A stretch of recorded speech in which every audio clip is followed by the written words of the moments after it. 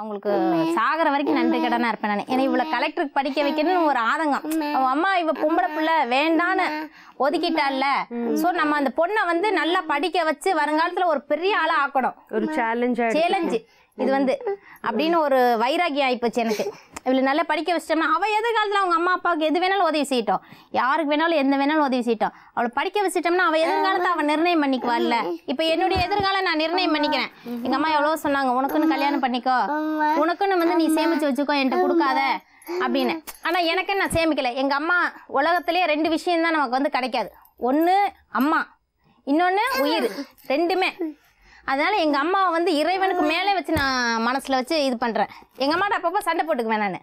ஏன்னா நம்ம வந்து எங்க அம்மா இல்லைன்னா எப்படி ஒரு இல்லைன்னா எப்படி இருக்க போறோம் அப்படிங்கறக்காக நேத்து கூட சண்டை போட்டேன் எங்க அம்மாட்ட. ஸோ நினைச்சு பார்த்து நைட்லாம் தூங்கவே இல்லை. தூங்க நாலு மணி ஆயிடுச்சு. அந்த மாதிரி வாங்க முடியாத ரெண்டு விஷயம். அதே மாதிரி இந்த குழந்தை கிடைக்கலன்னு அவ பிற்காலத்துல ஏங்கணும். இந்த குழந்தைய நம்ம வேணான்ட்டோமே. அப்படின்னு சொல்லிட்டு அவளா நினைச்சு ஏங்கணும். அவ எதிர்காலத்துல நினைப்பா நம்ம நம் நம்ம வந்து நம்மளை இந்த அளவுக்கு வளர்த்துனாங்களே நம்ம வந்து வரக்கூடிய பெண்கள் சமுதாயத்துக்கு என்னென்ன செய்யணும்னு அவ யோசனை பண்ணி செய்யணும். உங்களுடைய சிந்தனை எல்லாம் ரொம்ப பெரிய அளவுல இருக்கு. நானே என்- என்னை வந்து எங்க அம்மா இந்த அளவுக்கு வளர்த்துருக்காங்க. நான் இஸ்லாம் சமுதாயத்தை சேர்ந்தவா. என்னை வந்து இந்த அளவுக்கு இஸ்லாம் சமுதாயம்னா ஒரு முக்காடு போடாம கருப்பங்கி போடாம வெளியே வர முடியாது. அவங்க வந்து கட்டுப்பாட்டுக்குள்ளேயே வச்சுக்குவாங்க. இவ்வளோ எதிர்ப்பையும் தவிர்த்து எங்க அம்மா என்னை வந்து வெளியில ஆட்டோ ஓட்ட அனுமதிச்சிருக்காங்கன்னா அவங்க எவ்வளவு முற்போக்கு சிந்தனையாளரா இருந்திருப்பாங்க. கண்டிப்பா. அதனால எங்க அம்மாவை தான் நான் வந்து பெருசா நினைக்கிறேன். அப்ப என்ன? எங்க அம்மா வந்து இவ்வளவு தூரம் வந்து அந்த அளவுக்கு சாதிச்சு காமிக்கணும் இல்லையா? அவளுக்கு வந்து என்னுடைய வருங்காலத்துல நான் இப்படி இருக்கிறேன். எனக்கு அப்புறம் இவளுடைய வருங்காலத்துல நான் இவ வந்து ஒரு பெரிய பொசிஷன்ல இருக்கணும்ல? கண்டிப்பா. அப்போனா அவளுக்கு வந்து படிப்பு. படிப்பு தான் வருங்காலத்துல வந்து காப்பாத்தும். பெண்களுக்கு வந்து படிப்பு. படிப்புங்கிறது அறிவை வளர்த்துக்கும். அப்படிங்கறதுக்காக தான் இவளை படிக்க வைக்கணும். அப்படிங்கிற ஒரு ஆர்வம். நீங்க பதினோரு வருஷமா ஆட்டோ ஓட்டிட்டு இருக்கீங்க. ஆமா மேடம் என்னைக்காவது பிரச்சனைன்னு வந்திருக்கா? பிரச்சனைன்னு அந்த அளவுக்குலாம் ஒன்றும் வந்ததில்ல. சாதாரணமா வரும். அதாவது ஒரு பெண்ணா இருந்து என்ன பிரச்சனை ஃபேஸ் பண்ணிருக்கீங்க அதாவது இந்- எனக்கு வந்து போலீஸ் சப்போர்ட் நிறையா இருக்குது மேடம். நாங்கள் போலீஸ் ஸ்டேஷன் பக்கத்துலேயே சின்ன வயசுலேருந்து இருந்தனால எங்கே போனாலும் போலீஸ் ஸ்டேஷன் பக்கத்தில் இருக்கான்னு தெரிஞ்சு போயிடும்.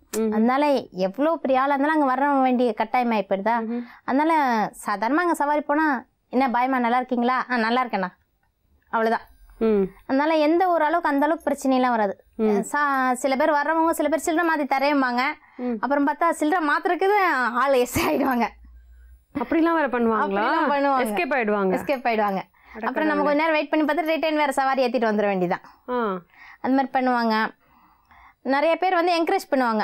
நான் நீங்கள் லேடின்னு நான் கூப்பிடவே கைத்தட்டி சில பேர் கூப்பிட்றாங்க ஜென்ஸு ஆட்டோன்னு கூப்பிட்டுட்டு ஐயோ நான் லேடின்னு கூப்பிடலைங்க சாரிங்க நீங்கள் போங்க அப்படிம்பாங்க. இல்லை பரவாயில்ல சொல்லுங்கள் அதனால என்ன இருக்குது? அப்படின்ட்டு. அப்புறம் சவாரி போவாங்க நல்லா என்கரேஜ் பண்ணுவாங்க அவங்கெல்லாம். இந்த மாதிரி நிறையா பேர் பண்ணியிருக்காங்க. சரி இப்போ கிட்டத்தட்ட ஒரு நூத்தி ஐம்பது இரநூறு பேர் கிட்ட நீங்க இருக்கீங்களே பெண்கள்? ஆஹ் அந்த அளவுக்கு சொல்ல முடியாது மேடம். நான் பார்த்த வரைக்கும் ஒரு இருபதுக்குள்ளே தான் இருப்பாங்க. இருபதுக்குள்ளதான் இருபதுக்குள்ளே தான் இருப்பாங்க. ஆனால் இருபதுக்குள்ளே இருக்க அந்த லேடிஸ் வந்து எல்லாரும் பார்த்தீங்கன்னா ஒவ்வொருத்தரும் ஒவ்வொரு மாதிரி. நிறைய பேர் வந்து ஒவ்வொருத்தர் ஒரு- ஒரு கட்டுப்பாட்டில் இருக்க மாட்டேங்கிறாங்க. பெண்கள் தானே நம்ம? நம்ம இப்படித்தான் இருக்கணும் அப்படின்னு நினைக்க மாட்டேங்கிறாங்க. நம்மளும் ஆணுக்கு நிகர் தானே அப்படின்னு நினைக்கிறேன். ஆணுக்கு நிகர்னு எந்த அளவுக்கு வந்துன்னா நம்ம வந்து ஆணுக்கு நிகர்னு சொல்ல முடியும்னா தொழிலில் காமிக்கணும் அந்த வேகத்தை. அவங்க தண்ணி அடிக்கிறாங்கன்னு சொல்லிட்டு நம்மளும் தண்ணி அடிக்கிறது அவங்க தம் அடிக்கிறாங்க பப்ளிக்ல நின்னுட்டு தண்ணி அடிக்கிறது தம் அடிக்கிறது. நிறைய பேர் நான் லேடிஸை பார்த்துருக்குறேன். பாம் ட்ராக் போடுறது. அதெல்லாம் நம்ம பண்ணக்கூடாது. பொதுவா சொல்றீங்களா? பொதுவாக சொல்கிறேன் நம்ம வர்ற இப்போ வேலைக்குன்னு வந்துட்டோம்னு வைங்களேன் நம்ம வேலையில தான் அவங்கள விட போட்டியா மிஞ்சணும்னு நினைக்கிறேன் தவிர அவங்க அவங்க? பண்ற மற்ற விஷயங்களை ஏன் பண்ணணும்னு நான் கேட்குறேன். அது வந்து எனக்கு பிடிக்கல. ம். அதனால எந்த ஒரு லேடி டிரைவர்ட்டையும் அந்த அளவுக்கு பேச்சு வச்சுக்க மாட்டேன். எல்லார்ட்டையும் சாதாரணமாக என்னங்கன்னா நல்லா இருக்கீங்களா? நல்லா இருக்கேன். அவ்வளோதான் பட் as லேடிஸ் ஆட்டோ டிரைவரா முன்னேறிட்டு தானே வந்துட்டு இருக்கீங்க? முன்னேறிட்டு தான் வந்துட்டு இருக்கேன் நான். நீ சொன்னேன் எங்கள் அம்மா வந்து அவங்க வீட்டில் அவங்க எங்கள் அம்மா கட்டுப்பாடாக வளர்த்துருக்காங்க.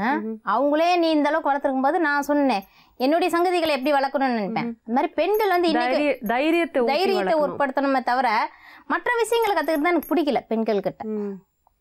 வரும்போதே மற்ற விஷயங்களை ஏன் கற்றுக்குறீங்க தேவையில்லாத அதை அவாய்ட் பண்ணணும். நம்ம எதிர்த்தா தானே இப்போ எதிர்த்தோம்னா வைங்க. அது வந்து உள்ள நுழையாதுல்ல? கண்டிப்பா. என்கிட்டயே சொல்லுவாங்க மற்ற டிரைவர் பான் ட்ராக்லாம் போடுறாங்க நீங்க அதெல்லாம் போட மாட்டேங்கிறீங்க? அப்படின்னு கேட்பாங்க. போடல என் வண்டியில ஒரு கண்டிஷன் ஏறும்போது என்ன சொல்லுவேன் சிகரெட் குடிச்சிருந்தா சார் நாட் ஸ்மோக்கிங் சார். என் வண்டியில அனுமதி கிடையாது சார். அப்படிம்பேன்.